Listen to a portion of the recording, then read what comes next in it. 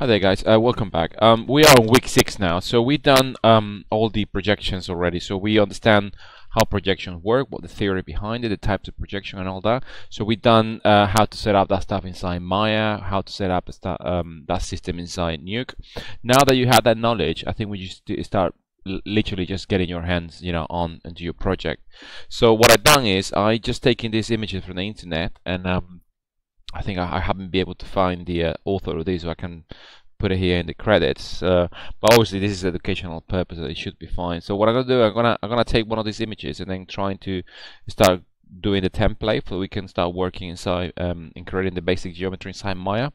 So um, so the first step we need to do is just uh, pretty much pick up one of these images. Uh, you're gonna have your own thumbnail. You will have something like this, similar, or be more um, elaborate than this.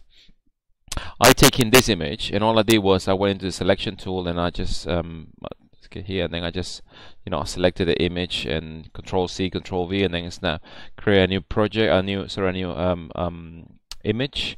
And, and I gave it um, a size of like the the final which is going to be 1920 by 1080 so it's a 1080 HD so um and then I went there and I start um, um sort of working out what the things that I need to start um, dissecting. So what I did was I started working on um, individual items. So the, the point here is that you are going to recreate geometry for every single one of the key landmarks here that we have in the in the um, this in particular matte paint here. So you go here floor, sort of a valley, uh, you got this stuff uh, here, some sort of like a I don't know, some sort of um, piece of rock there in the front. I showed this because it's, it's, quite interesting because you got something in the middle on the side and you got something in the background so you can sort of create parallax there when you move the camera. But obviously I'm not gonna go take that project all the way to that level. So just gonna create the, the basic framework here, the, just a skeleton of, of the actual um, scene inside Maya. So the, the point is, is you have to establish where your things are. Okay. First, obviously, you need to establish the where's your horizon. Okay?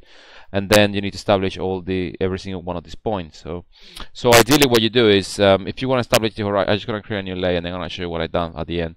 So I just pick up a color. So I went there and I just pick up I don't know bright red or something. And then I say okay I'm going to press shift. And I say well my horizon according to this is somewhere around here. So I can uh, to go actually select the brush.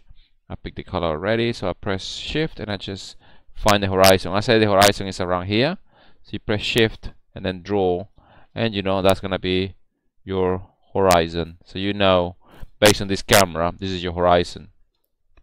Now if you want to write it down here in the corner your height you can probably say how high this camera is from the ground. But then I'm going to show you a little nice trick and how to do that in, a, in an extra piece of an extra piece of layer here so you can create a profile.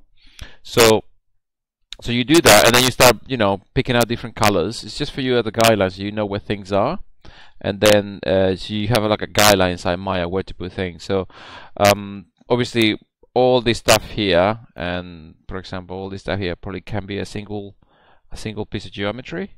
That would be like some sort of a valley. So and then you put a dot here and then you say this is gonna be, I don't know, an average here. The point here, this distance is about from the camera. They say you say I don't know, is God knows, uh, six, eight hundred meters or something like that. I'm just guessing numbers here, but you need to work this out more. And then I'm just gonna draw a line here, and I say, well, around here, this is gonna be like I don't know, 600 meters, and then here's about 1200 meters. I don't know. And then you start picking up another color, and then you go say, I'm gonna pick up I don't know this color here, just go, this is my other element. So what I'm doing is just I'm dissecting the elements that I'm gonna be using in Maya um, so I know roughly what I have to model. This is going to be the other one. This guy is, I don't know, he's about, I don't know, 100 meters from the camera, or this shot, or this angle. This could be the beginning, it could be the end, it's up to you, or the, or the sequence. And, um, and then let me undo this. Uh, at the end of the day, you have to work it out, these numbers, uh, roughly on the painter, you need to, you know, make that, you know, executive decision and say, well, this guy is going to be 100 meters, or whatever, 200 meters.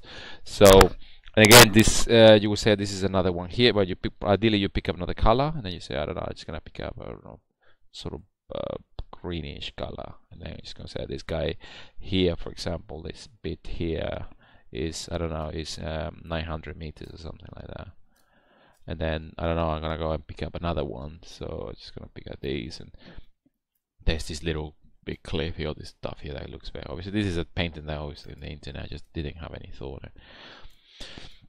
If you see that something is here in the front, then you can probably put another layer so you get a little bit of parallax between it. and you say, well, this guy's going to be, I don't know, um, 1200 meters. And then you keep going and then until you find the background and everything. And then that will be like your template. So you know that in Maya, when you model something here, for example, you say that this piece of geometry that you're going to model in Maya, very rough, is going to be 100 meters from the camera and then you will know. As when you put everything in perspective everything will fit in place. So I done that already. I done sort of a template already here and I done this. I done I guess 200 meters. I don't know. I'm just guessing. And then then you can start working as well on the on the profile or how far things are from the camera. So what you can do is you can probably create this here but just um, I'm just gonna put um, a new layer here. And then I'm gonna create another another one of these sort of skeleton, but it's going to be sort of like a profile. Just look at, just imagine that you're going to be doing it from, I don't know, I'm going to do everything in black or something. I'm just going to, this is going to be the camera. Okay. Okay, sort of a camera. And then I'm going to press, um, so I press here, shift, and I get this out here, and then I'm just going to this draw line. So this is the camera. This is what the camera is going to see. This is uh, zero meters, and this is I don't know. You can then work it out how far, how tall do you think you are from the camera, or this stuff is. They say this stuff is the sort of mid ground here, and then you're gonna the foreground, and it's gonna be like the reference. And you will say, well, my camera this is 200 meters. I'm probably around 80 meters high. So 80 is going to be around here. So this is going to be 80.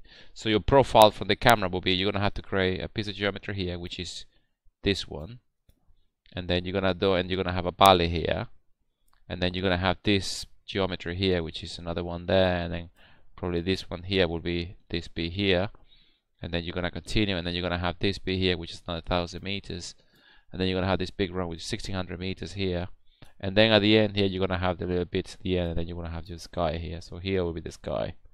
So based on this you will have that I don't know from here it's gonna be zero meters and from here it's all the way I don't know 5,000 meters. Because you don't have to put obviously the kite is going to be too high. You need to be realistic. You cannot you don't kind of put something that is I don't know 150 miles from the from the camera because you'll not be able to, to render it. But I think after because you just remember that the rule of parallax as long as you pass this point here then because this stuff is so far away you would not see any parallax the parallax if you move the camera here hardly any parallax because the stuff is so far away and it's so much in between that you're not gonna be see you're not gonna be seeing any any shifting in perspective. So here you shouldn't be worried. You should probably cap it to 5,000 meters or 6,000 meters. But this stuff here from here to here, there is some distance. It's from here to here, and especially all the way there. You remember the parallax. The stuff you put here gonna move more than the stuff you put there. So you need to worry from here to there, pretty much. And then the rest here, it will be probably a couple of layers. One layer for these old mountains, this little mountain here, 3000 meters and then the sky another layer here with a curve and that's it. Five six thousand. You can place it eyeball it later on. But the, the the point is that you have to create this sort of template so you know where things are. And then you, when you bring it back into Maya then we're gonna start creating this uh, sort of um, setup. So um, that's it for now guys. Uh, once you had your painting that you have to dissect it like I said here in layers what you're gonna put where and how far it is from the camera. And then we're gonna bring have this in mind and then um, having that so we can probably bring only use this like this for creating your stuff inside Maya. And then you know that this stuff is the stuff that you're gonna be doing in, in Photoshop. And then painting it and then baking the light and make sure where the light is gonna be it's gonna be evenly it. Then you can do all the color correction and all that and then do at the end put it together inside Nuke then animate it so that's it for now guys. This is going to be the first video for the series and then what I'm going to do is I'm going to jump on into Maya now and then I'm going to start putting all this stuff together with locators so we know how stuff this stuff is from the sky, uh, how high is from the from the horizon, uh, sorry the camera view to this point and how far this is and so we use basic locators so we know where those landmarks are and then we start creating some basic geometry for it. And then we animate the camera and then we start putting the projections and then we start rendering stuff out. Very simple so we can bring in Photoshop and start you know painting stuff alright guys that's it for now. Thank you very much. Bye bye